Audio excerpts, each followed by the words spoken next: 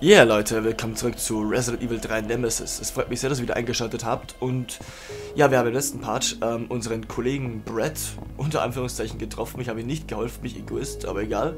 Wir mussten ja Muni sparen und meine Kollegin Miss Fortune LP ist auch wieder mit von der Partie. Ja, hallo. Und wir müssen jetzt wieder mal Richtung äh, Polizeirevier. Da waren wir im zweiten Teil auch. Und ja, wird hoffentlich gut verlaufen weil ich will nämlich den nächsten Gegner relativ gut besiegen. Ja, das ist oh. unser großes Ziel. Ich hol die Pompons schon mal raus. Genau. das war jetzt irgendwie pervers. Oh, Mensch. Oder zumindest zwei. Solange ich nicht sage, ich lasse meine Melonen kreisen, ist alles okay. Und die Zombies brechen durch, verdammt. Die Schwäne. Kommt schon näher, kommt näher, ihr Süßen. Put, put, put. Aber die Kriecher da unten vor allen Dingen, die sind doch so hübsch. Ach. Äh, okay. Ich nehm's mal so. Jawoll, stirb doch mal, du Freak da vorne. Ah, da hinten bleiben immer welche übrig, das ist voll krass. Die sind klug, die sehen, das ah, die ist, Das ist fies, das ist fies, nicht klug. Nein, ich meine, die Zombies sind klug. Weil ja, die sehen schon, ah ja, die Idioten gehen da alle hin, ne? Da bleib ich mal hier hin. die sind wahrscheinlich auch studiert.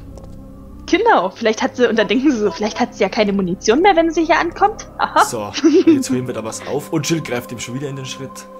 Ah, du immer, worauf du achtest. Foto A. Die Polizisten drängen weiter nach vorn.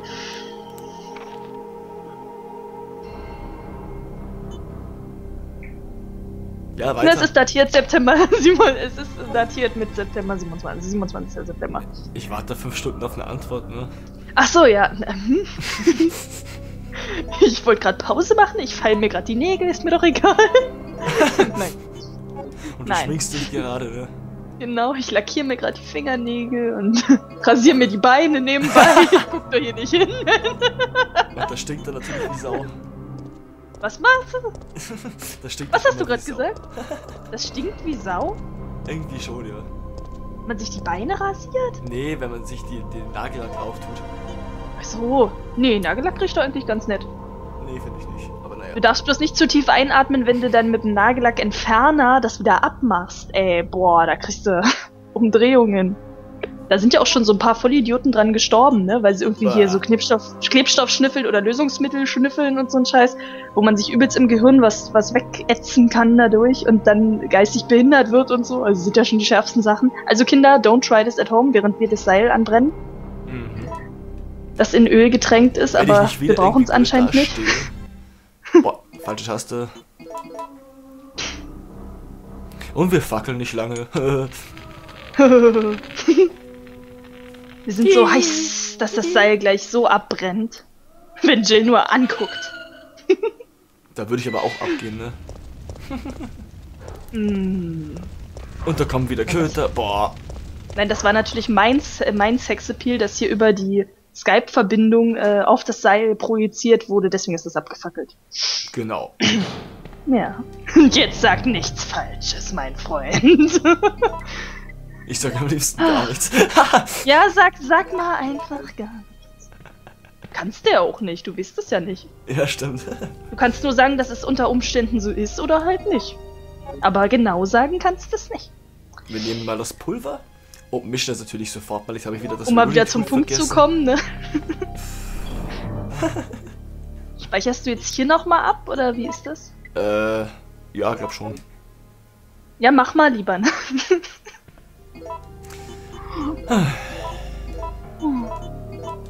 So. Und jetzt haben wir wieder über 50 Money, das ist gut. Das ist sogar sehr gut. Darf ich mal ganz kurz in der Aufnahme was Technisches fragen? Klar. Ich sehe ja, also wir haben ja eine Bildschirmübertragung, ist ja alles schön und gut, und ich sehe ja oben auch dieses Kästchen, wo dann halt, weil wir über Skype telefonieren, mein Name drin steht. Und da ist gerade so eine, die gelbe Fra äh, Frames-Zahl. Ist das alles richtig? Mm, -mm. Nee? Das darfst du irgendwie nicht werten. Ich, ich kenne mich da ehrlich gesagt zu wenig selber aus. Also ich weiß jetzt gerade gar nicht, was du. Nee, ich dachte nur gerade, dass vielleicht meine Stimme jetzt nicht aufgenommen wird oder irgend sowas. Doch, doch. Deswegen. Dein, dein, ah, dann ist ja gut. Deine Stimme wird im Video selber aufgenommen und meine extern. Ah, zur Not hätten wir nämlich behauptet, du bist irgendwie schizophren und hörst Stimmen und redest mit dir selbst. Wenn man meine Stimme nicht hört. Okay, Und das alle war fragen sich, mit wem redet naja. der da? Nein, Quatsch, ich meine das ja nicht böse. Ich habe übrigens gesehen, wie du äh, bei deinem Zusammenspiel mit der Gothy damals, glaube ich, du warst das, ne? Mhm. Wie du so übelst geärgert hast. Das habe ich gesehen, ja. Und ich werde jetzt hier die Frauenpower, ja. Ich habe mir jetzt zum Ziel gesetzt, ich werde dich fertig machen. Nein, Quatsch. Ah, ah. Ich nehme das jetzt eigentlich gar Nein. nicht ernst, aber naja. Das sollst du auch nicht ernst nehmen, das ist doch nur ein Witz. So, jetzt werden wir gleich das Polizeirevier betreten und ich werde still sein, weil da kommt nämlich eine übelst geile Cutscene. Und ich werde reden. Hahaha. um alles zu versauen. Wie immer halt. Na. Oh.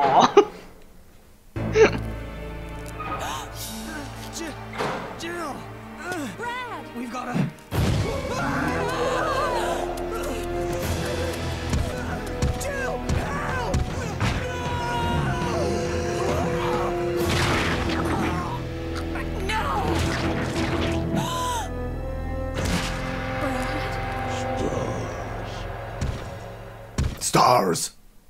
Ich wusste, dass das wieder kommt. Ja, Stars. das ist Nemesis, Leute. Gegen den können wir jetzt kämpfen oder auch flüchten. Ich bevorzuge den Kampf. Weil er droppt nämlich übelst geile Sachen. So. Yay.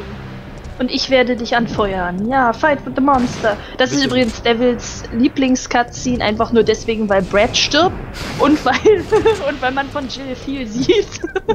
Haha. Na, Jill ist viel im Bild, also kannst du dich nicht beschweren. Stimmt. Aber, davon ist habe ich auch nichts, so- solange sie nicht nackt ist, ne? Aber es ist eine Videospielfigur, selbst wenn sie nackt wäre, was würdest du dir denn bringen? Stimmt. Das Pixelgekuschel, das ist ja nicht wirklich äh, realistisch und hübsch. Wie damals noch alle abgegangen sind bei den alten Tomb Raider Teilen, ne? Dass Lara Croft Nein! so eine Jetzt hat sie mich. Ah, jetzt hat, er, jetzt hat sie mich, ja genau. Nein! Steh auf, Jill! Und so relativ schnell geklickt. Süße. Jawohl. Jill, du bist unser Mann. Wenn du es nicht schaffst, dann keiner es kann. Yeah! Okay, Jill, du bist unsere Frau. Schlag Nemesis die Sau. Yeah! Kein Ich, Kommentar. ich bin. Was denn? Ich bin neu in dem Cheerleader-Gewerbe. Ich muss das erstmal üben. ich bin in der Gewerkschaft. In dem Cheerleader-Gewerbe, ne? In der Cheerleader. Okay, Gute ist, scheiße, ich kann scheiße, scheiße, lauf! Ah, Nein, lauf, lauf, lauf! Nein, stirb nicht! Lass es raus! Jawohl. Hey, sie ist sogar ungewöhnlich schnell heute drauf. Oh, Okay, ich habe keine Muni mehr. Gute, verdammt. die Gute hat kapiert, dass wir es ernst meinen, deswegen. Stimmt. Die hat gedacht, boah, der Devil, der Devil meint das ernst. Uh, jetzt muss ich mich doch ein bisschen anstrengen. Genau, sie hört auch mal auf mich. Und Nemesis liegt, das erste Mal niedergestreckt. Das läuft ja ziemlich gut. No? Stars! Ich. Ah, Stars! jetzt hat er mich geschlagen, der Penner. Dass der Das- sich nicht schämt. Das kriegst du zurück. Ja, und auch hier zu erwähnen, wir könnten jetzt theoretisch, auch wenn wir merken, oh mein Gott, Nemesis ist so stark, könnten wir auch zu Brad rennen, ihm eine Karte entwenden und dann trotzdem einfach in die Police-Station rennen. Aber das ist überhaupt nicht der Stil von Devil, denn Devil will kämpfen. Und lassen wir ihn also kämpfen. Ja, weil es geil ist. Aber es ist. Und wir wollen ja von Nemesis was haben, deswegen Genau. müssen wir das. Ich will seinen Durchziehen. Schädel haben. Ja, und ich will seinen linken Arm. Boah, Der mit den seine- langen Tentakeln Leder- dran. Seine Lederklamotten, die sind ja auch übelst geil, finde Ja, übelst heiß. ich. So, immer Vor wieder. allem das Auge auch. Du blöder. Dieses komisch Jawohl, schön Auge. ausgewichen. Schön Uh. ausgewichen, Süße. Oh, scheiße. Ach, vor allem ist alles voll lustig, weil sie ja in dem Sinne ausweicht, aber sie ist trotzdem, hat sich nicht von der Stelle eigentlich bewegt, Stimmt. weil sie da so hinge in, an der Ecke da gestanden hat. Ach du Scheiße, okay. Mir ist es einmal passiert bei dem Kampf, äh, das habe ich nicht aufgenommen gehabt, aber das ist mir einmal passiert, da hat er sich hinten Ja, bei diesen. Blumenkübeln, yay, da hat er sich hinten bei diesen Blumenkübeln festgebackt. Und hat sich da nicht mehr, wollte Hm. laufen und es ging nicht. Er hat da festgesteckt. Das war übelst geil. Jetzt haben wir die Eagle-Parts A. Das ist sehr gut, das heißt, wir bekommen dann... Okay, jetzt muss ich noch die Karte klauen. Ja, ich bin ein Leichenbeklauer. Leichenfledderer, dich. voll böse, ne? Und Jill fasst auch ihm in den Schritt. Die kennt Nein, auf deine den Sch Arsch. In den Arsch eigentlich. Ah, in den Arsch, okay. Genau. Ja, stimmt, er liegt ja auf dem Bauch. So, jetzt überprüfen wir gleich mal die Karte, weil das ist nämlich was ganz Besonderes. Also dieses Täschchen oder wie man das auch immer nennen will. Jetzt haben Ein wir Ausweis. die Stars-Karte. Die kriegen wir Stars. normalerweise von Jill, wenn wir ins, in den Schulungsraum reinlaufen, den wir in Resident Evil 2 dann gesehen haben. Aber ja, wir machen es einfach mal schnell und unkompliziert. Genau. Und auch hier wichtig zu erwähnen, dass der äh, dritte Teil sozusagen vor, während und nach dem äh, zweiten Teil läuft. Das heißt, wo Jill, wenn Jill jetzt hier im Polizeirevier ist, waren hier äh, Claire und Leon noch nicht. Jetzt sind wir momentan vor dem zweiten Teil und dann teilweise während des zweiten Teils und dann aber auch danach. Nur mal so zur Orientierung, weil wir ja das Polizeirevier aus, auch aus dem zweiten Teil kennen. Merkt ihr mal bitte 0513. Ja, ich habe aufgeschrieben 0513. Alles klar. Und es ist jedes Mal ein anderer Code. Mann, Mann, Ja. Mann. Also nicht, dass wir das schon mal gespielt hatten oder so. Nein, nein. Oh. Stimmt. Du Devil, was soll ich eigentlich mit den 20 Codes machen, die ich schon notiert habe? Keine Ahnung, irgendwie. Keine Ahnung. nee, nee, das war ein Spaß. Ach man. Boah, der pisst mir wieder ans Bein. Der, Du nimmst aber auch immer die Seite, die da irgendwie mit Zombies bevölkert ja, das ist. weiß man nicht, ob links oder rechts belaufen wird. Ach, ist das unterschiedlich? Ja, vorher war es ein bisschen anders. Ach so, okay. Ja, das Spiel Oder ist nicht immer gleich. Das ist auch das Interessante. Der Code ist ja auch nie gleich. Ja, aber das finde ich eigentlich gar nicht so schlecht, ehrlich gesagt. Finde ich auch toll, weil es animiert ja den Spieler auch da mit, mitzumachen sozusagen. Äh, willst du nicht einen Stein mitnehmen? Nee, ich habe keinen Platz im Inventar. Ach so, okay. Wir haben jetzt nämlich eigentlich nur eine Heilung verbraucht gegen Nemesis. Das war richtig cool. Da warst du jetzt zu gut, Mensch. Genau. Du bringst das ganze Konzept durcheinander. Ach Die Scheiße, nicht tot, die ne? Schlampe steht nochmal auf. Das Miststück, streck sie nieder. So, aber die haben wir gleich mal. Juhu. Stirb doch, du Freak, du verdammter.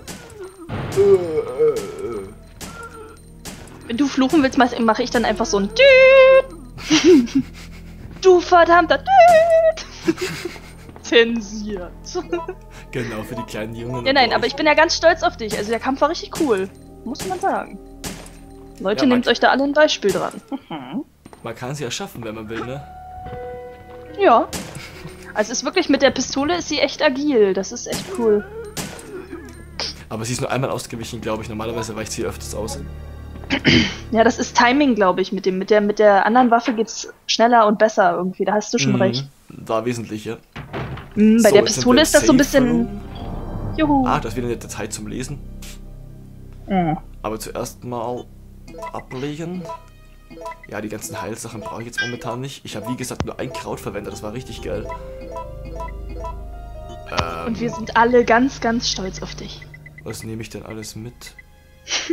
Eigentlich brauche ich doch gar nicht. Farbband? So- Ach nee, Quatsch. Willst du noch was das Tool. Ja. Hast du denn jetzt? Ist eigentlich hinten was in diesem, äh, in diesem Entwicklungsraum Nee, drin? da ist nichts drin. Nee? Nee. Okay.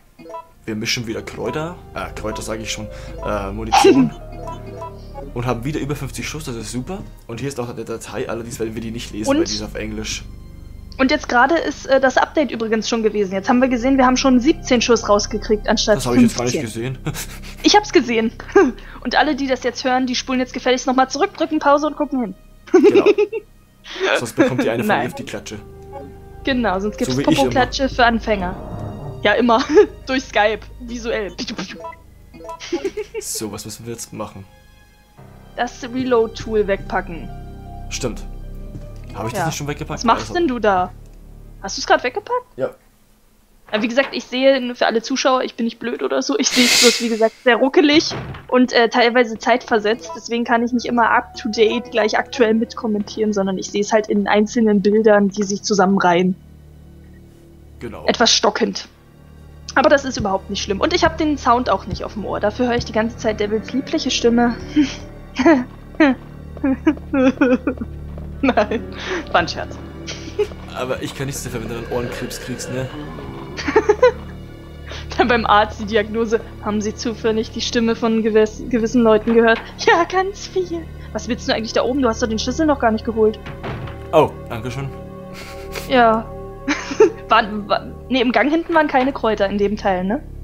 Normalerweise Ich weiß nicht warum. Sonst hättest du die jetzt schon mal holen können, ne? ich, Ja, Leute, aber ich laufe ein bisschen verpeilt durch. Ich weiß nicht warum. Keine Ahnung.